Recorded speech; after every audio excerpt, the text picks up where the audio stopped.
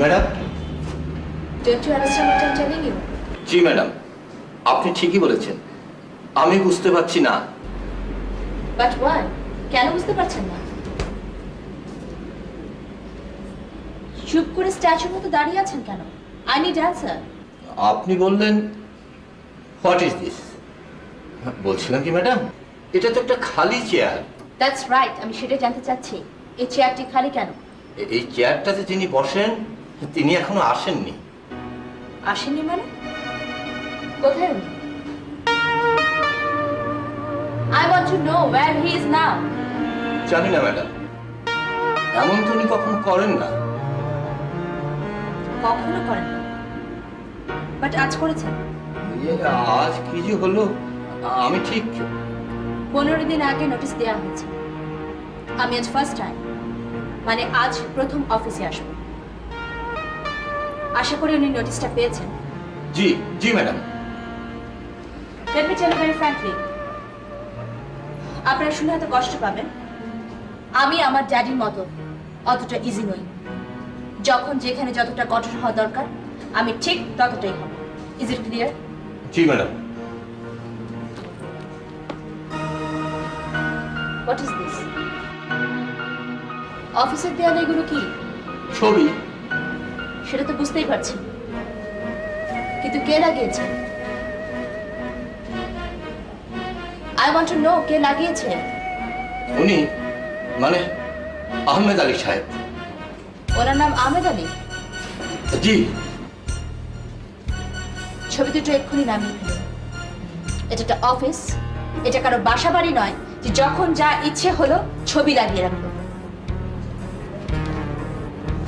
আর হ্যাঁ অফিসে ছবি লাগিয়ে রাখে, মালিকের বেঁধে দেওয়ার সময় অনুযায়ী অফিসে আসেন না।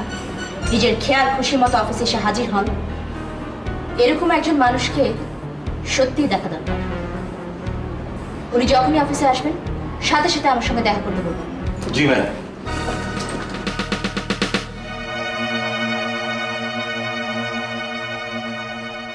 বাপরে, যেন অ্যাটম বোমা। মুখে কথা খুই ফুটছে। এই যে, সমিজুদ্দিন সাহেব। বুঝলেন? গিয়েছিলাম। বলুন দেখি কোথায় গিয়েছিলাম। মনে করুন, আপনাকে একটা ধাঁধা দিলাম। উত্তরটা দিন তো। পারলেন না তো? আমি জানতাম আপনি পারবেন না। আজ ক তারিখ বলুন দেখি? আরে পয়লা বৈশাখ, নববর্ষ। তাই গিয়েছিলাম রমনা বটগুলো। ভোর না হতেই একেবারে ছুটে গেছি কিন্তু এখন যে আপনাকে আরেক জায়গায় যেতে হবে এবং ছুটেই যেতে হবে আহমেদ সাহেব। আরেক জায়গায় যেতে হবে ছুটে যেতে হবে? আরে কি সব হেয়ালি করছেন? সোজা কথা বলুন না। আপনি তো জানেন আমি সোজা সাপটা কথা ভালোবাসি। কোম্পানির মালিকের মেয়ে লন্ডন থেকে বিবিএ পাশ করে আজ মালিকের চেয়ারে বসেছেন। এবং তিনি বসার আগে আপনার চেয়ারটি খালি পেয়েছেন। তার মানে ঘটনা খুবই খারাপ বুঝতে পেরেছেন? এই কথা? তা এই কোম্পানির মালিকের সঙ্গে আমার সম্পর্ক কীরকম ছিল সেটা তাকে কেউ বলেননি আপনারা? জি না সে সময় পেলাম কোথায়? আর তাছাড়া উনি এই ছবি দুটো এক্ষুনি নামিয়ে ফেলার ফরমান জারি করেছেন। ছবি দুটো নামিয়ে ফেলব মানে? আপনাকে আমি কতদিন বলেছি এই ছবি দুটো নামিয়ে ফেলতে? মনে আছে? কিন্তু আজ আমি বলছি এই ছবি দুটো নামাবেন না। কিছুতেই নামাবেন না। আমাকে দেখা করতে বলেছেন তাই তো? জি। যাই।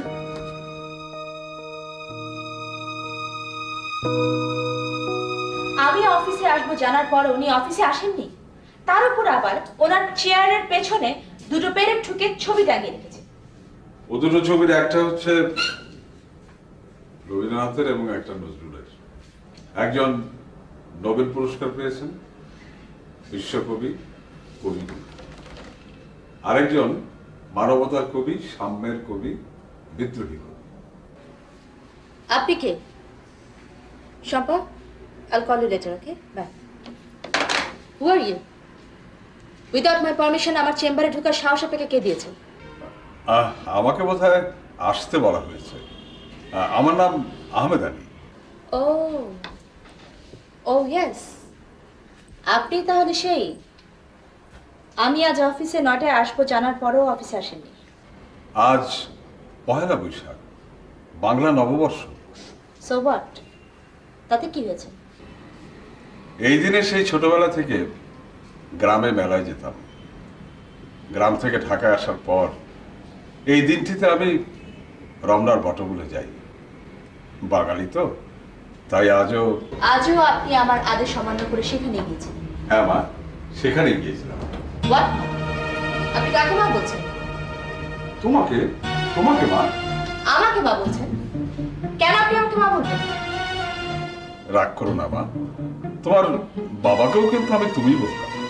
লিসেন মিস্টার আহমেদ আলী আপনি আমার ড্যাডিকে কি বলতেন, না বলতেন, সেটা আমি জানি না, আমার জানার কোনো আগ্রহ নেই। যদি বলতেনও সেটা ছিল পাস্ট মানে অতীতকাল। আর বর্তমানটা জেনে রাখুন। বর্তমানে আমি আপনার মালিক, আপনি আমার কর্মচারী। আপনি শুধু আমাকে আপনি নয় ম্যাডামও বলবেন আর হ্যাঁ এসব কি পড়েছেন আপনি? পাজামা পাঞ্জাবি? এটা কি শুধু আজকের জন্যই নাকি সবসময় এই সমস্ত ড্রেস পরে অফিসে আসা হয়? এটাই আমার পোশাক। ছোটবেলা থেকে এই পোশাকই আমি পরবেন না। আর পরবেন না। কাল থেকে আপনি অফিসে স্যুটটাই পরে ফিটফাট হয়ে আসবেন। টাই স্যুট আমি জীবনে কখনো পরিনি। পরেননি কিন্তু এখন পরবেন। না সেটা আমার পক্ষে সম্ভব নয়। What do mean by that তুমি দুঃখিত। তুমি নয় আপনাকে বলছি, একজন রক্ত মাংসে করা বাঙালি হয়ে রবীন্দ্রনাথ নজরুলের ছবি একবার দেয়ালে টাঙাবো, আরেকবার সেটা নামিয়ে ফেলব, সেটা আমার পক্ষে কোনোদিন সম্ভব হবে না। আর ওই যে বললেন টাইসুট এই পাজামা পাঞ্জাবি ছেড়ে টাইসুট পরে নকল সাহেব সাজাও আমার পক্ষে সম্ভব হবে না। আপনি আমাকে ক্ষমা করুন। কারেক্ট। কারেক্ট বলেছেন আপনি। আমি আপনাকে ক্ষমা করব।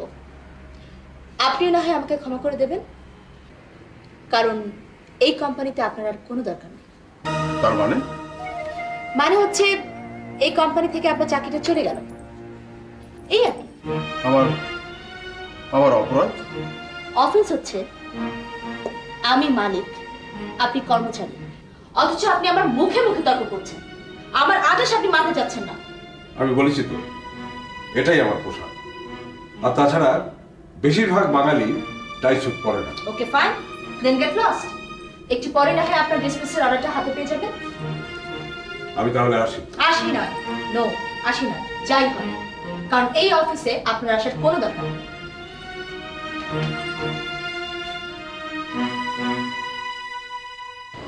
না না। কাজটা তুই ভালো করিস নি বৈশাখী। তুমি বুঝতে পারছ না আপনি তুই তো জানিস না উনি বাবা টিচার ছিলেন। কি বলছো তুমি? টিচার হ্যাঁ ছাত্র শিক্ষক হলেও ওনাদের বোধ হয় বয়সী ডিফারেন্স খুব বেশি ছিল না মাত্র কয়েক বছরের। তাছাড়া ওনারা দুজন একসাথে যুদ্ধও করেছেন।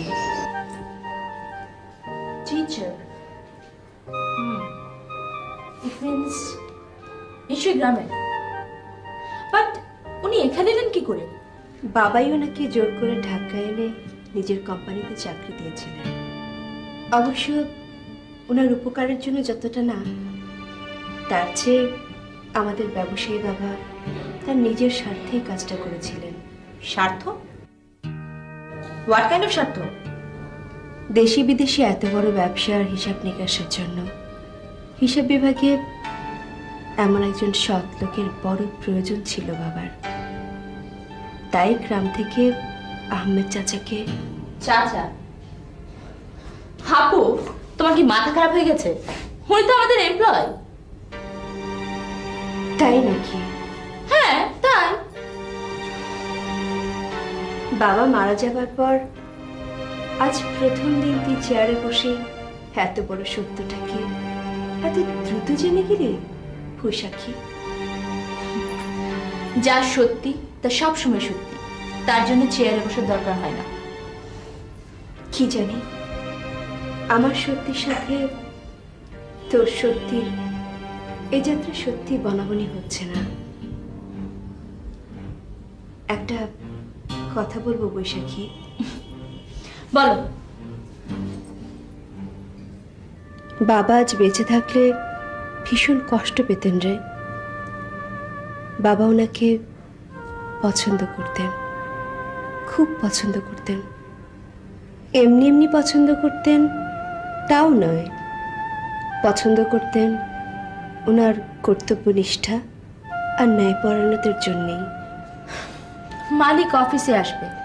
এটা জেনে উনি অফিসে আসবে না। এটা কর্তব্যনিষ্ঠা? আজ পয়লা বৈশাখ।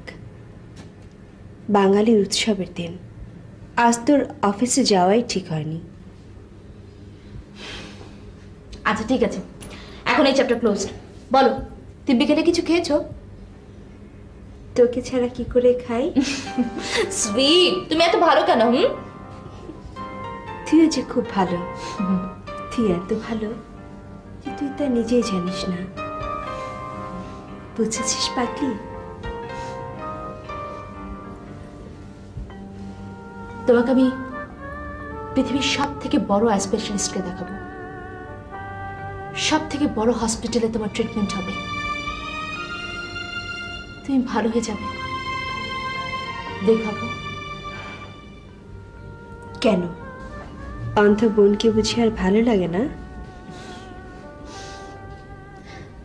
আমাকে যদি কেউ জিজ্ঞেস করে এই পৃথিবীতে আমার সবচেয়ে প্রিয় কি?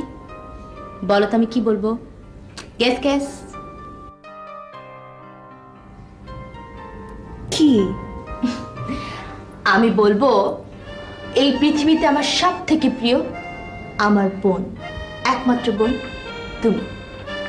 আচ্ছা। ইয়েস ইয়েস ইয়েস আমার সব থেকে ভালো লাগা সব থেকে প্রিয় হচ্ছে তুমি।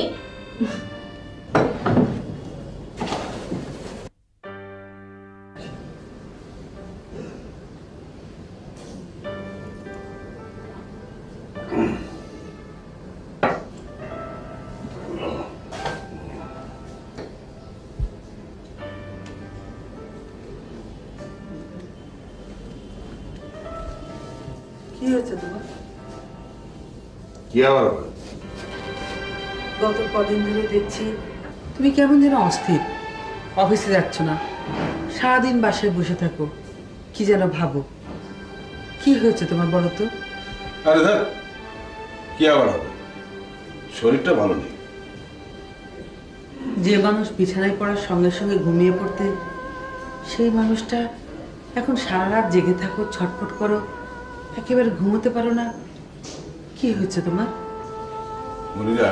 বলো। একটা দুঃসংবাদ আছে। কিসের দুঃসংবাদ? তুমি তো জানো আমি আজ পর্যন্ত তোমার কাছে কোনো কথা গোপন রাখি ঠিক তো? ঠিক কিন্তু এখন লোক হচ্ছে কেন? ব্যাপারটা এত লজ্জার এত অপমানের শুনে তুমি কষ্ট পাবে। এই ভেবে এই কদিন কথাটা তোমাকে বলিনি। কি অপমান করেছে তোমাকে? কে সে? মালিকের মেয়ে যিনি এখন মালিক। কেন? কেন অপমান করেছে? কি করেছ তুমি? তুমি তো কখনো কোনো অন্যায় করো না। আমি রবীন্দ্রনাথকে ভালোবাসি নজরুলকে ভালোবাসি জীবনানন্দ সুকান্তকে ভালোবাসি এদের কারও কারও ছবি আমি দেয়ালে ঝুলিয়ে রাখি। আমি টাই স্যুট পরি না। বাংলা নববর্ষকে স্বাগত জানাতে রমরার বটমূলে ছুটে যাই। এসো হে বৈশাখ গান শুনতে। এসব অন্যায় না বলো তো।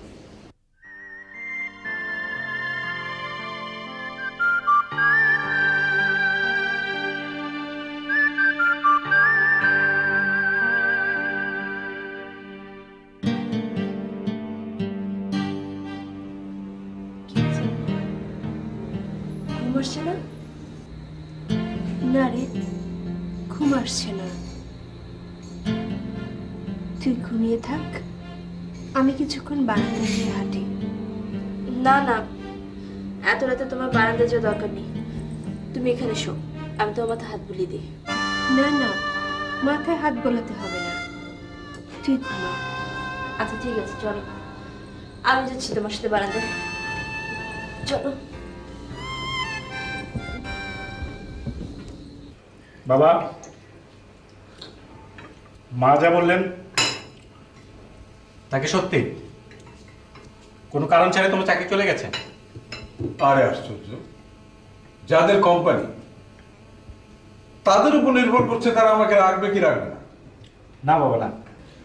বিনা কারণে কোনো মালিক কোনো কর্মচারী চাকরি নিতে পারে না।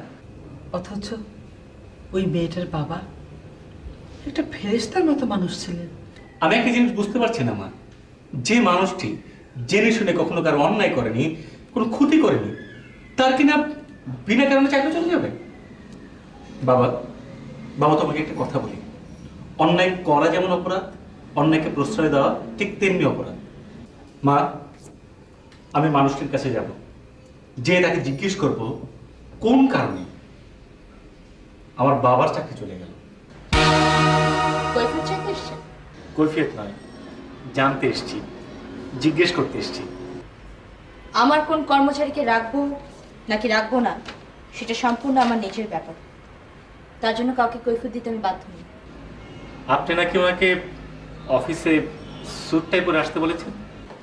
রাইট ঠিকই শুনেছেন। শুধু ওনাকে নয় এই অর্ডার এই অফিসের সবার জন্যই প্রযোজ্য। আপনি বোধহয় ভুলে গেছেন যে এটা Bangladesh. What do mean by that কি বলতে চান আপনি? আপনি বাঙালি মেয়ে হয়ে শাড়ি না পরে প্যান্ট শার্ট পরেছেন। এটাতে কারও কিছু যায় আসে না। কিন্তু একজন বাঙালি যদি তার পছন্দের পোশাক পরতে চায় সেখানে বাধা দেওয়া যাওয়াটা শুধু ভুল না অন্যায় না আপনি আপনার সীমা লঙ্ঘন করছেন। আমার ভালো লাগছে বেশ ভালো লাগছে। কারণটা কি জানেন? আমি একজন সীমা লঙ্ঘনকারীর সামনে দাঁড়িয়ে সীমা লঙ্ঘন করছি। আপনি কি জানেন? আপনি জানেন? উনি আমাকে তুমি বলে অপমান করেছিলেন। আপনার জন্য আমার খুব কষ্ট হচ্ছে। আপনি অপমান এবং স্নেহে পার্থক্যটা বোঝেন না আসলে বোঝেন না। আমি ভেবে খুব অবাক হচ্ছি। আপনি এটাও বুঝতে পারেন না এত কম বুদ্ধি আপনার। উনি কর্মচারী আমি মালিক। কর্মচারী হয়ে উনি মালিককে তুমি বলেন কোন অধিকারে? ভালোবাসার অধিকারী স্নেহের অধিকারী। অফিসিয়াল এটিকেট যে করাম বলে একটা কথা আছে সেটা নিশ্চয়ই বোঝে না। আমি মালিক। আর আপনি এত বারবার মালিক মালিক বলছেন কেন? মালিক তো সেই যার ইশারায় আপনি নিঃশ্বাস নিতে পারছেন। যার ইশারায় ফুল ফোটে যার ইশারায় পাখি don't try to give me lesson জীবনে অনেক পরীক্ষায় ভালো রেজাল্ট করেছি কিন্তু আপনাকে জ্ঞান দেওয়ার মতো অতটুকু শিক্ষিত আমি নেই। ননসেন্স যাদের নিজেদের সেন্স একটু কম তারা তো অন্যকে ননসেন্স বলবে এরই তো স্বাভাবিক। আচ্ছা আপনি নববর্ষের দিনে অফিস খোলা রাখার নির্দেশ দিয়েছেন কেন? আমার অফিস আমি কবে খোলা রাখব নাকি বন্ধ রাখব সেটা সম্পূর্ণ আমার নিজের ইচ্ছে সেটা আপনি বলার কি? আপনি বাইরে থেকে পড়াশোনা করে এসেছেন। নিশ্চয়ই দু একটা সার্টিফিকেটও পেয়েছেন। কিন্তু ওই যে প্রকৃত শিক্ষা যাকে আপনাদের ভাষা বলে বেসিক এডুকেশন আপনার ওদের মনে হয় নেই? ও রিয়েলি এখন আপনার আমাকে ইলিটারেটর মনে হচ্ছে নাকি? আপনি বাঙালি নেই। আপনি নববর্ষ বোঝেন না।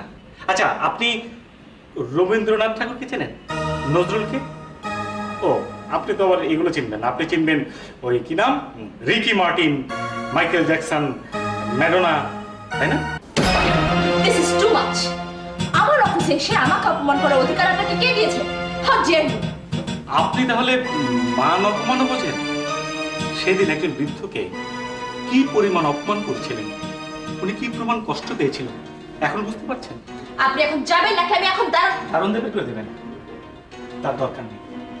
আর আমি কিন্তু আমার বাবার চাকরি ফিরিয়ে নেওয়ার জন্য মিনতি করতে আসিনি। আমি এসেছিলাম অন্যায়ের প্রতিবাদ করতে আপনার যে ভুল হয়েছে সেটা বোঝাতে আপনি বুঝতে পেরেছেন? বাহ চমৎকার। চমৎকার বলেছেন তো? অফিসে এসে আমাকে এভাবে ইনসাল্ট করে গেল আর তুমি বলছো চমৎকার? বারে চমৎকারকে চমৎকার বলব না? আমার মনের কথাই যে বলেছেন ভদ্রলোক।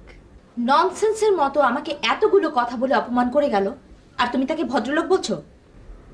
বাইরে থেকে ইংরেজি মিডিয়ামে পড়েছিস। রবীন্দ্রনাথ নজরুল দুজনেই বাঙালির কত বড় কবি তা তুই জানিস না। একবার রবীন্দ্রনাথকে নিষিদ্ধ করতে চেয়েছিল। জানিস না শিল্পী সাহিত্যিক বুদ্ধিজীবী সাধারণ মানুষ সবাই রুখে দাঁড়িয়েছিল সেদিন। That is not my headache আমার কথা হচ্ছে উনি আমাকে অপমান করবেন কেন? তুই একজন বৃদ্ধ মানুষকে অপমান করিসনি? উনি ইন টাইম অফিসে নববর্ষের দিন তুই অফিস খোলা রাখতে পারিস না বৈশাখী। নববর্ষ বাঙালির অনেক বড় উৎসবের দিন আনন্দের দিন। এদেশ প্রতিষ্ঠার জন্য আমাদের বাবা আর আহমেদ চাচারা যুদ্ধ করেছেন। এ ভাষার জন্য মানুষ রক্ত দিয়েছে। আর তুই কি না নববর্ষের দিন ওকে ওকে ফাইন। মেনে নিচ্ছি। মেনে নিচ্ছি আমি হয়তো ভুলই করেছি। কিন্তু তাই বলে ওনার আমাকে অপমান করার কোনো রাইট নেই। হয়তো ভুল করেছি বলছিস কেন? তুই ভুলই করেছিস। তুই অপমান ভাবছিস, উনি প্রতিবাদ করেছেন। একটা কথা বলি তোকে বৈশাখী। বলো, কথাটা রাখবি বল? তোমার কোন কথাটা আমি রাখিনি সেটা বলো। কাল তুই আহমেদ চাচার বাড়িতে যাবি। কেন? তুই ওনাকে অফিসে ফিরিয়ে আনতে যাবি। এতে তোর ব্যবসার লাভ ছাড়া ক্ষতি হবে না রে। এত সততা তুই আর কারোর মধ্যে পাবি না। এখন সব পাওয়া যায় সৎ লোক পাওয়া যায় না। বাট আপু আমি বলছিলাম কি? না আর কিছু বলবি না তুই। উনি স্কুলে বাবা শিক্ষক ছিলেন। যুদ্ধে সহযোদ্ধা ছিলেন। আমাদের চাচার মতো শ্রদ্ধেয়। মানি লোককে সম্মান করলে ছোট হয়ে যাবি না তুই। আর মানুষই তো ভুল করে ভুল শুধরায়।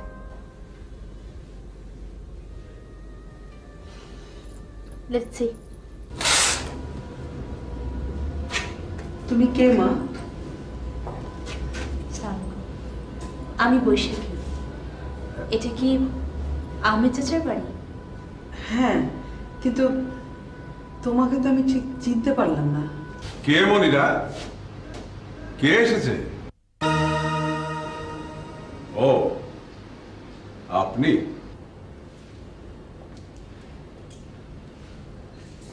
আমি আমি আপনার কাছে এসেছি। বসুন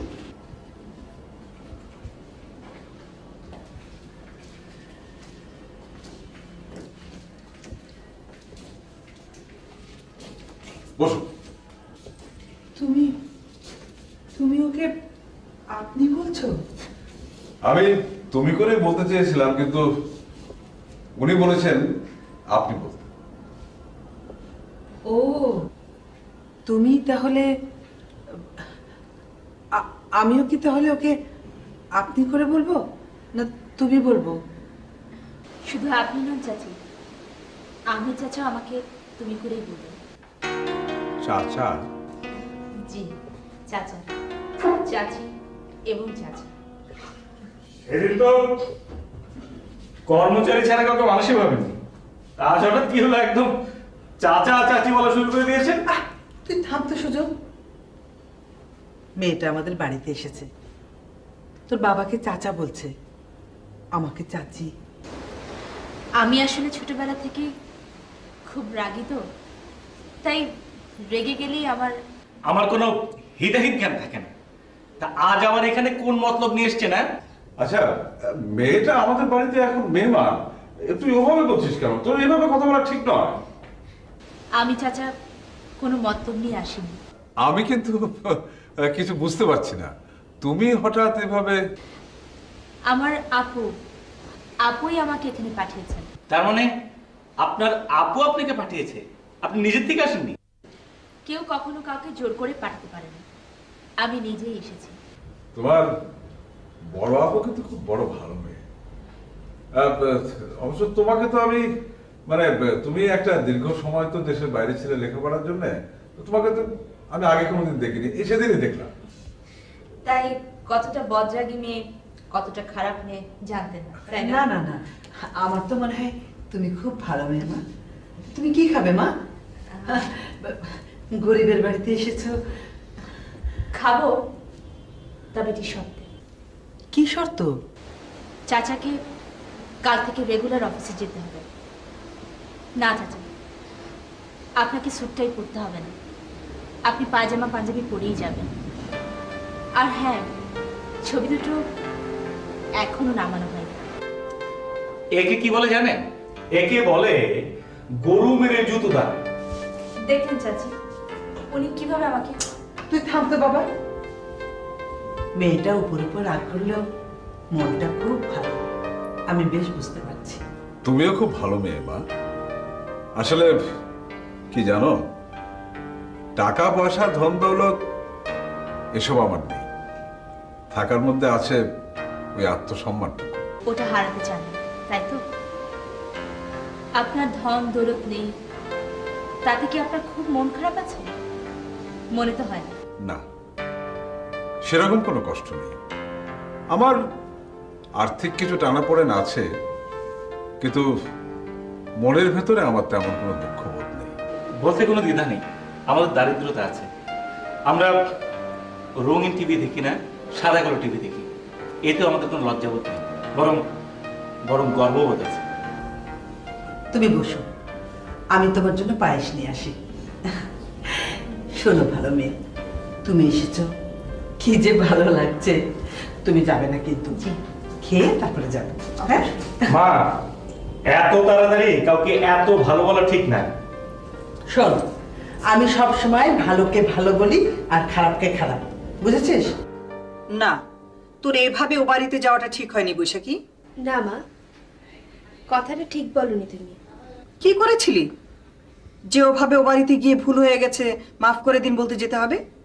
মা আমি ও বাড়িতে গিয়েছি বাট ভুল হয়ে গেছে মাফ করে দিন এসব তো বলিনি। ধর মাফ করে দিন বলেছিস। তাতে হয়েছেটা কি? তাতে কিচ্ছু হয়নি। কি বলছিস তুই? না হয়নি মা। ভুল করে কেউ ভুল স্বীকার করলে ছোট হয়ে যায় না। বরং অনেক বড় হয় মা। শিখেছ তো বড় বড় কথা। এবারের স্ট্যাটাস মান সম্মান ধুলোয় মিশিয়ে দিল আর উনি বলছেন কি না? না থুলে মিশিয়ে দিয়ে আসেনি বরং ওদেরকে বুঝিয়ে দিয়ে এসেছে এ বাড়িতেও ভালো মানুষ আছে। জানি জানি আর বলতে হবে না। সব হয়েছে বাবার মতো। আমাদের বাবা কিন্তু ভালো মানুষ ছিলেন মা। ভালো ছিল। সারাটা জীবন আমাকে জ্বালিয়েছে। বলা নেই কওয়া নেই হঠাৎ একদিন আমি যুদ্ধে গেলাম। একটা চিরকুট লিখে দিয়ে চলে গেল। তারপর যদি মরে যেত আর ফিরে না আসতো? অনেকেই তো ফেরেনি মা। তাই নাকি? তাহলে তোমাদের কি হতো? এখন একজন মুক্তিযোদ্ধার মেয়ে হিসেবে গর্ববোধ করি আর তখন একজন শহীদ মুক্তিযোদ্ধার মেয়ে হিসেবে আরও বেশি গর্ব করতাম। তোকে আর বলে কি হবে? তুই তো তোর বাবার আদর্শ নিয়ে আছিস। যাই এখনই বেরোতে হবে। একটা সেমিনার আছে। কি ব্যাপার? হাসছিস কেন? না মা তুমি যাও। কিছু না এমনি।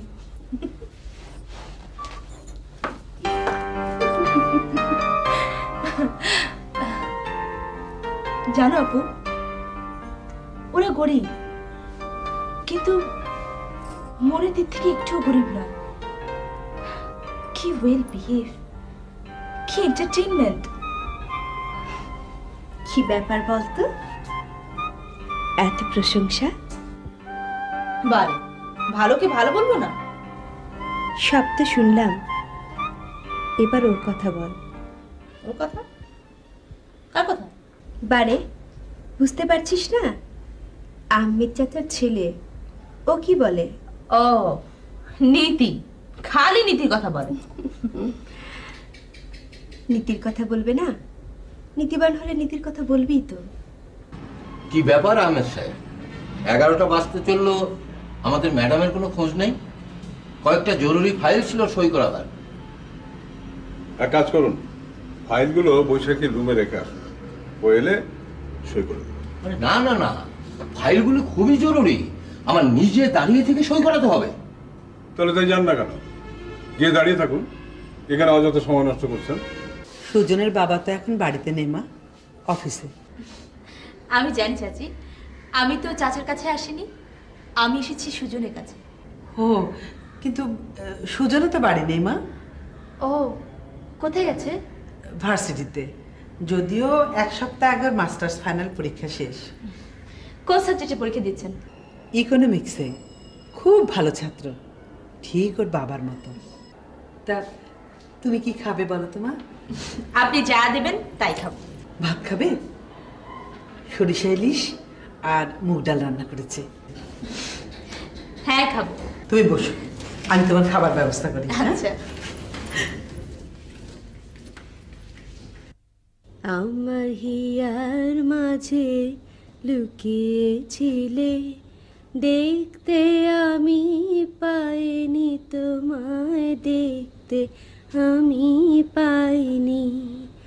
আমার মাঝে লুকিয়েছিলে, দেখতে আমি পাইনি, তোমায় দেখতে আমি পাইনি।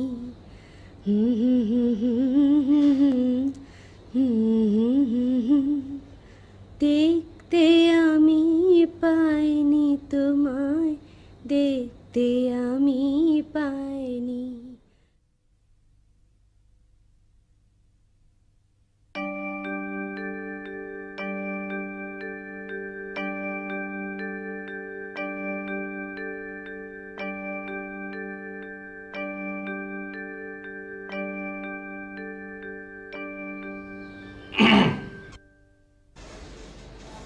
কে আপনি? আমার নাম সুজন। ও আপনি? আপনার গানের গলা কিন্তু বেশ। আপনার গান শুনে আমি মুগ্ধ হয়েছে আপনি জানেন? প্রশংসাটা কিন্তু বেশি হয়ে যাচ্ছে। চা দিতে বলি? আবুল? আবুল? জি ম্যাডাম। মেহমানের জন্য চা। আচ্ছা। আহ, বৈশাখী আমাদের বাসায় গিয়েছিল। আমাকে পায়নি সেই জন্য আমি এখানে এসেছি। আমি জানি বৈশাখী আমাকে সব বলে।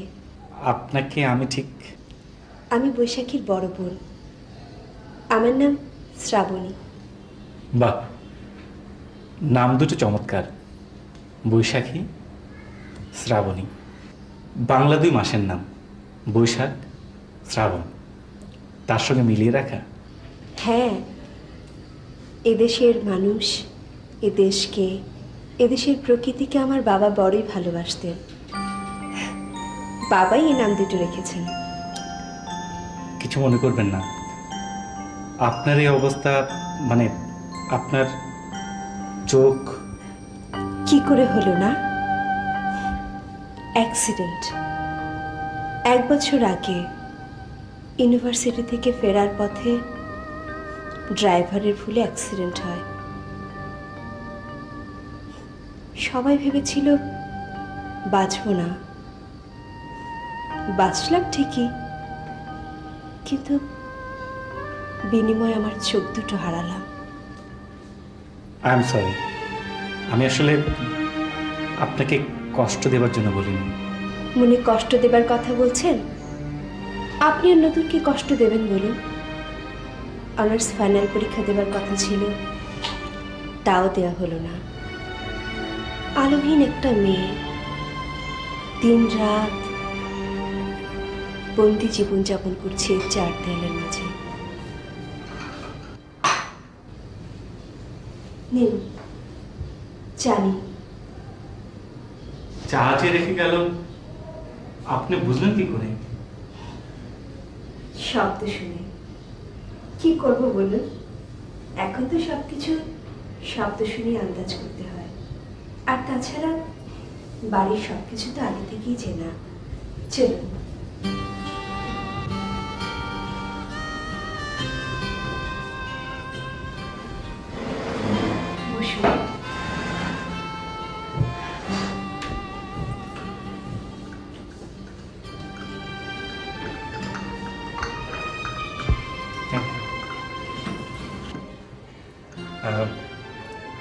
আপনার বোন এলে বলবেন আমি এসেছিলাম আবার আসবেন।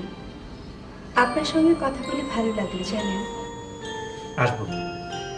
এত আসব যে তখন আপনার আর ভালো লাগবে না। কেউ আসে না।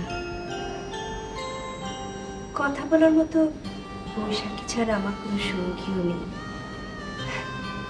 আপনি এলে আমার ভালো লাগবে। ভালো লাগলেই ভালো। আমি আজ আসি। আপনি ভালো থাকবেন। আসি। হ্যাঁ আমাদের সুজনের চাকরির ইন্টারভিউ কার্ডটা কি এসেছে? কই না তো। এলে তো তোমাকে জানাতোই। সুজনের একটা চাকরি হওয়া বড় দরকার। হঠাৎ এ কথা বলছো কেন? ওর যদি একটা ভালো চাকরি হয় তাহলে আমরা সুন্দর দেখে একটা বউ ঘরে আনতে পারতাম। হেয়ালি রাখুন তো। আপনি জানেন গত কয়েকদিন ধরে আমি আপনাকে কতবার খুঁজেছি। আমি আপনাদের বাসা পর্যন্ত গিয়েছিলাম। আপনার মার হাতে সর্ষে ডিশ মুগ ডাল দিয়ে পেট ভরে খেয়েছি। আপনি তো ছিলেন না। আমি তো সেদিন আপনাদের বাসায় গিয়েছিলাম। আপনার বোনের সঙ্গে অনেক কথা তাই নাকি? আচ্ছা আমাকে কি আপনার খুব বেশি বদ মেজাজি বাজে মনে হয়? না আপনি উপরে উপরে যতই রাগী কঠিন থাকুন না কেন ভিতরটা আপনার খুব নরম শান্ত। অবশ্য এটা আমার কথা না মার কথা। আচ্ছা আপনার মার কথা তো শুনলাম। আপনার কি মনে হয়? আমার? আমিও মার সঙ্গে এক সত্যি? মিথ্যে বলিনি। আর মিথ্যে বা বলব কেন? গ্রেট তাহলে তো কাল বিকেলে আমরা দেখা করতে পারি যদি আপনার কোনো আপত্তি না থাকে। বলে আপত্তি থাকবে কেন? Promise Promise. তাহলে কাল বিকেল পাঁচটায়। আচ্ছা আসি। ওকে বাই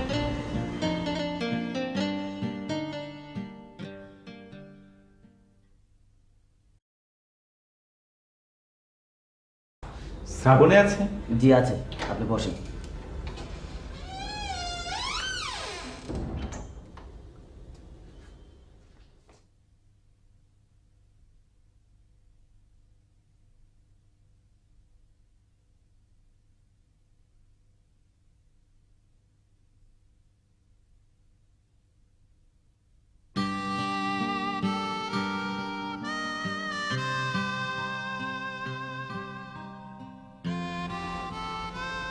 কত কদিন ধরেই ভাবছিলাম আপনি আসবেন।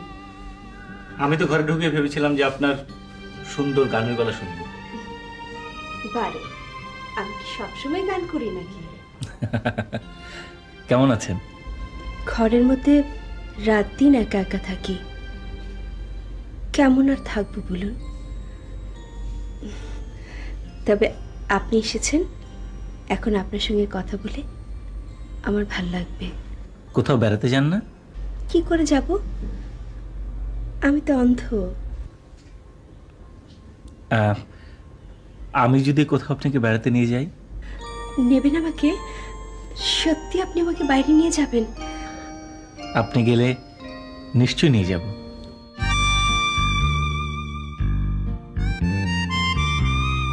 জানেন আমার যেদিন অ্যাক্সিডেন্ট হলো তারপর থেকে একদিনের জন্যও আমি বাড়ির বাইরে যাইনি।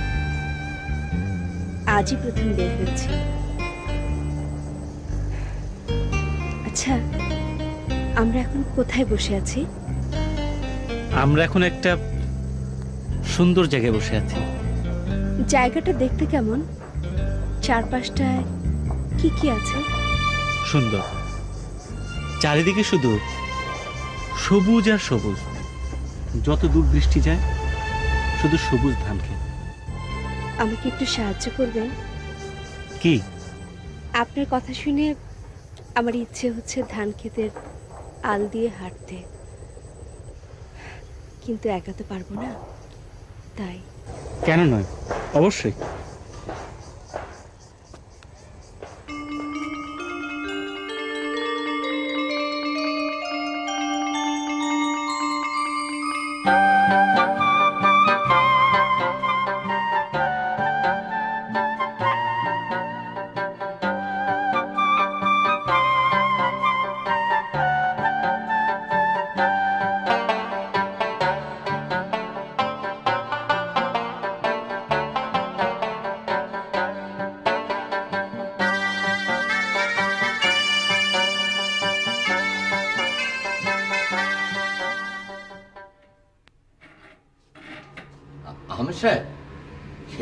ম্যাডাম আর আপনার ছেলেকে দেখলাম। কোথায়? সেদিন বাস স্টপে বাসের জন্য দাঁড়িয়েছিলাম তখন দেখলাম। ও। তা আমি কি করতে পারি? ম্যাডামকে বলে আপনার ছেলের জন্য এই অফিসে একটা চাকরির ব্যবস্থা করতে পারেন। বাপ ছেলে একই অফিসে কাজ করলে সেটা কি খুব ভালো দেখাবে? না তা অবশ্য ঠিক। তাহলে অযথা কথা বলছেন কেন? কাজ করুন না।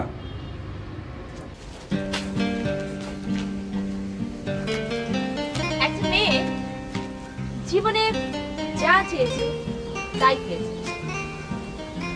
ধরুন, সে মেয়েটি যদি আপনাকে বলে যে সে আপনাকে ভালোবাসে, তাহলে কি বলবেন না না ফাঁসি নয়। বলুন না, কাউকে কি আপনার ভালো লেগেছে? মানে সত্যি কি আপনার জীবনে কেউ এসেছে? এখনও কাউকে ভালোবাসিনি। তবে বাসবো। যাকে ভালোবাসবেন, সে মেয়েটি কেমন? জানতে পারি? সে, আর যাই হোক, কখনো প্যান্ট শার্ট পরে না, শাড়ি পরে। হালকা কচি পাতা রঙের শাড়ি অথবা নীল শাড়ি। খোপায় থাকে নানা ধরনের সুগন্ধি ফুল। পায়ে আলতা, রবীন্দ্রসঙ্গীত আর নজরুল গীতি শুনতে ভালোবাসে। জীবনানন্দ দাশের কবিতা তার খুব পছন্দের। এরকম একটি মেয়ে মনে মনে অনেক দিন থেকে ভেবে রেখেছি। আপনি একদম চিন্তা করবেন না। এখন পড়ছে না, বিয়ের পর নিশ্চয়ই পড়বে। শুনুন সামনের ছাব্বিশে এপ্রিল আমার জন্মদিন। আপনার ইনভাইটেশন রইল। আসবেন তো? আসব। অবশ্যই আসব। এ তুই কি বলছিস বৈশাখী? চাল নেই চুলো নেই এমন ছেলেকে তুই পছন্দ করে বসে আছিস? কেন মা? চাল নেই চুলো নেই বলছো কেন? সুজন তো দেখতে ভালো স্মার্ট ব্রিলিয়ান্ট। কিন্তু আমরা মালিক ওরা কর্মচারী এ কথা ভুলে গেলে তো চলবে না। তাছাড়া তাছাড়া কি? বলো মা। বড় মেয়ের বিয়ে না হতে ছোট মেয়ের? না মা ও কথা বলো না। বৈশাখী সুজনকে পছন্দ করেছে। তাছাড়া সুজনও খুব ভালো ছেলে। কর্মচারীর ছেলের সঙ্গে মালিকের মেয়ের বিয়ে এ তো আমি ভাবতেই পারছি না। একদিন আমাদেরও কিন্তু কিছুই ছিল না মা। আজ হয়েছে। ঠিক আছে। যা ভালো বুঝিস কর। আমি যেমন এই বিয়েতে মত দেব না তেমনি বাধাও দেব না।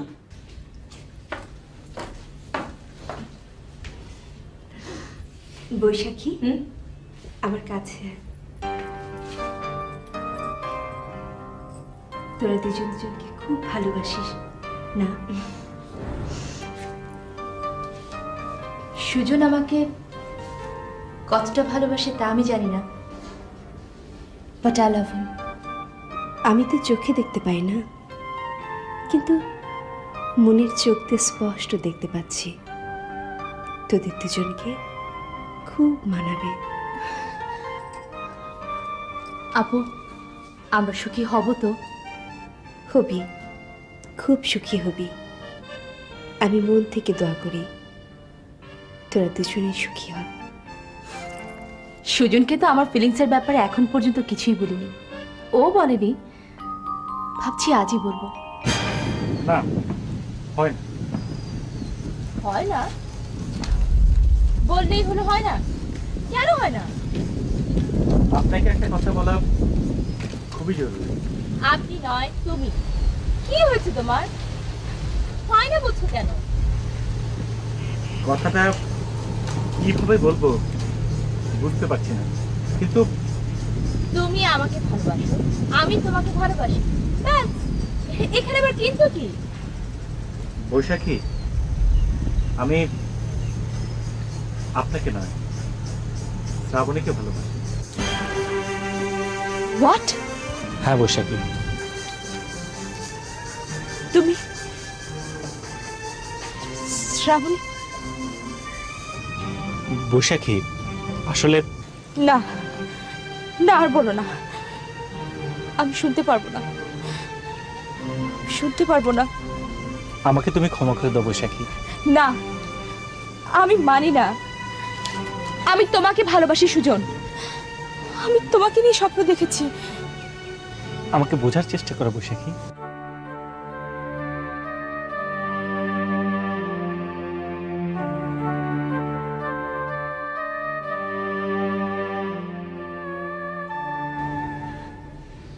বিশ্বাস কর বৈশাখী। আমি কি বিশ্বাস করব?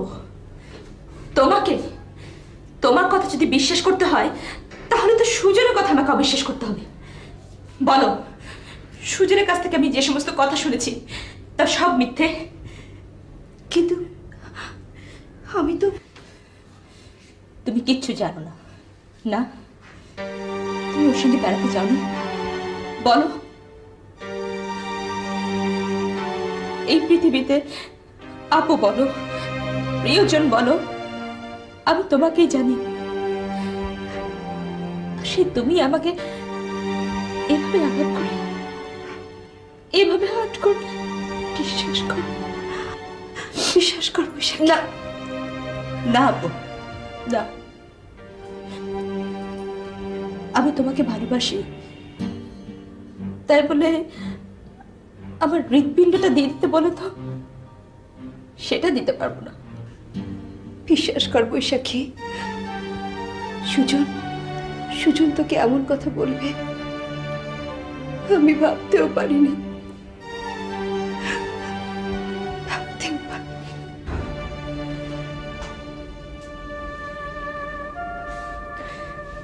বিলিভ সুজনকে ছাড়া আমি বাঁচতে পারব না। দ্যাটস ট্রু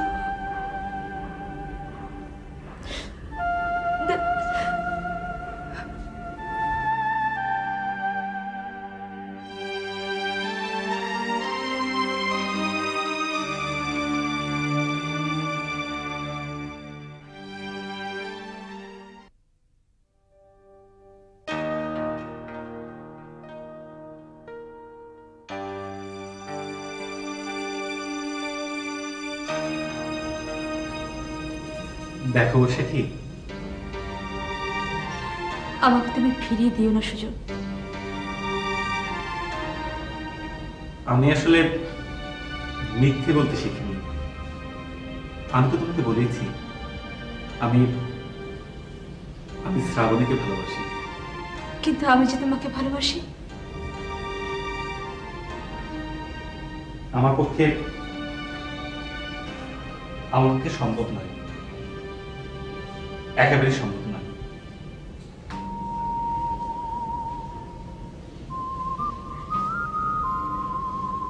আমার আমার ভিতরে কি নেই সুজন? না বৈশাখী তোমার সবকিছু আছে। তুমি দেখতে সুন্দর তোমার টাকা পয়সা আছে তোমার শিক্ষা আছে। তুমি শুধু তুমি শুধু সুন্দরী নও অনিন্দ সুন্দর। যে কোনো পুরুষ মানুষ তোমাকে দেখলে তোমাকে পেলে পাগল হয়ে যাবে। কিন্তু কিন্তু একজন পুরুষ আমাকে ভালোবাসেনি। পাগল মতো তো দূরে থাক একটু বাসেনি। আমাকে আমাকে আসলে তুমি আমাকে কেন ভালোবাসা যায় না সুজন? বৈশাখী। বৈশাখী আমি একজনকে ভালোবাসি। আমাকে ক্ষমা করে বৈশাখী। প্লিজ।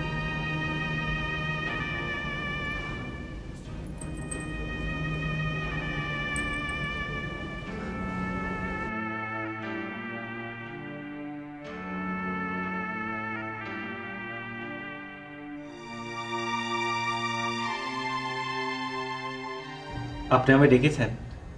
জি। বেশ বলুন। বৈশাখী আপনার কাছে গিয়েছিল। আপনি নাকি ওকে ফিরিয়ে দিয়েছেন? আপনি হয়তো জানেন না বৈশাখী খুব ভালো মেয়ে। এত ভালো যে আমি কি বলেছি ও খারাপ?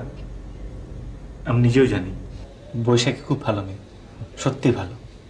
শিশুর মতো নিষ্পাপ মন ওর রূপ গুণ শিক্ষা কি নেই ওর? এমন একটা ভালো মেয়েকে সঙ্গী করে পেলে জানবেন আপনি সুখী হবেন। কিন্তু আমি যে অন্য একজনকে ভালোবেসেছি?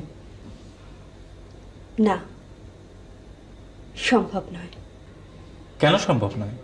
আপনি হয়তো জানেন না আমি ওকে আমার জীবনের চাইতেও বেশি ভালোবাসি। আপনার কাছে আমার অনুরোধ প্লিজ আপনার চলার পথে ওকে সঙ্গী করে নিন। না শ্রাবণী তা হয় না। কেন হয় না? কারণ আমি আপনাকে ভালোবাসি। আপনি কি বলেন? নিজের ভালোবাসা ফেলে স্বপ্ন ফেলে যাকে কখনো ভালোবাসিনি তাকে নিয়ে ঘর বাঁধবো আমি? জানি না আমি কিচ্ছু জানি না। শুধু শুধু আপনাকে অনুরোধ করব আপনি একটু দয়া করুন প্লিজ একটু দয়া করুন। শ্রাবণী আমি আপনাকে ভালোবাসি বড় বেশি ভালোবাসি। আমি তো একটা অন্ধ মেয়ে। এখন থেকে আমার চোখ দিয়ে আমার ভালোবাসার চোখ দিয়ে পৃথিবীকে দেখবেন আপনি। পারবেন না? আপনি কি চান আমি মরে যাই? আপনি কি আমার লাশ দেখতে চান? আপনি জানেন না। বৈশাখীর জন্য আমি সব করতে পারি সব। ওর জন্য মরে যেতেও আমার আপত্তি নেই। আমি এখন আসি।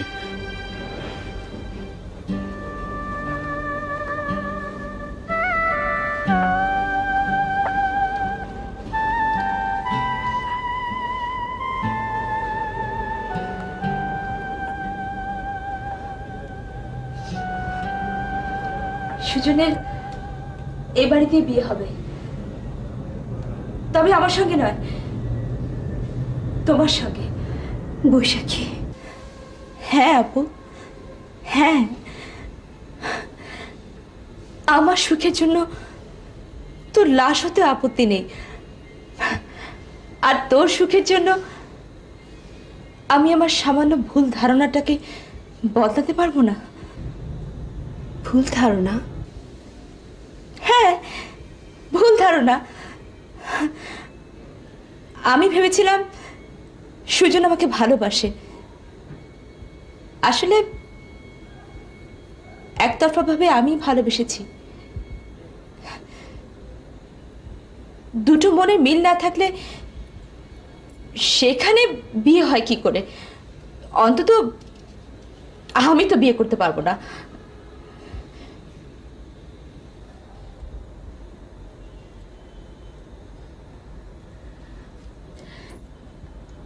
তুমি যদি আমাকে সুখী দেখতে চাও তাহলে আমার একটা কথা রাখতে হবে। কি কথা? তুমি সুজনকে বিয়ে করো। আমি জানি। সুজনকে বিয়ে করলে তুমি খুব সুখী হবে আপু। ও খুব ভালো ছেলে। কেন? তুমি তো আমাকে একদিন বলেছিলে। মনে নেই? আমি এরপর আর কখনো তোমার কাছে কিছু যাব প্লিজ আপু, মানা করো আমি আমার বোনটাকে নিজ হাতে বউ করে সাজাবো।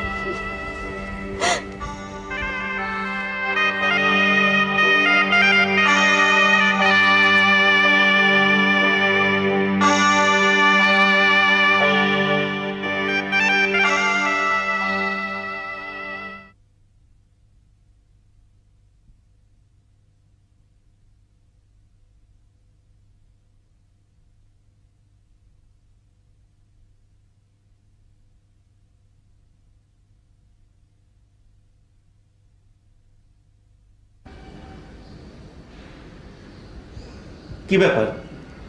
তুমি এত সকালে? সকালে ফ্লাইট যে।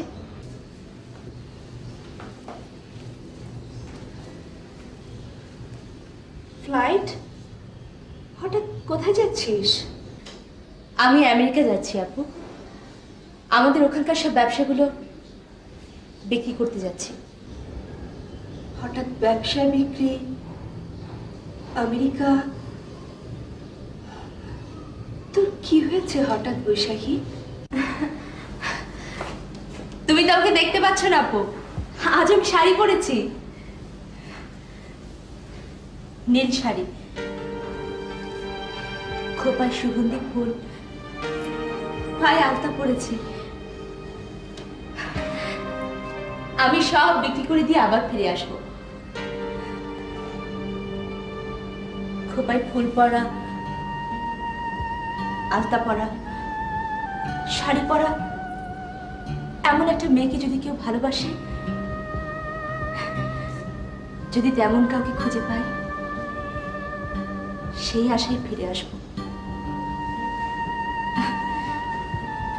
আমি আসলে যাচ্ছি ফিরে আসার জন্য। সত্যি?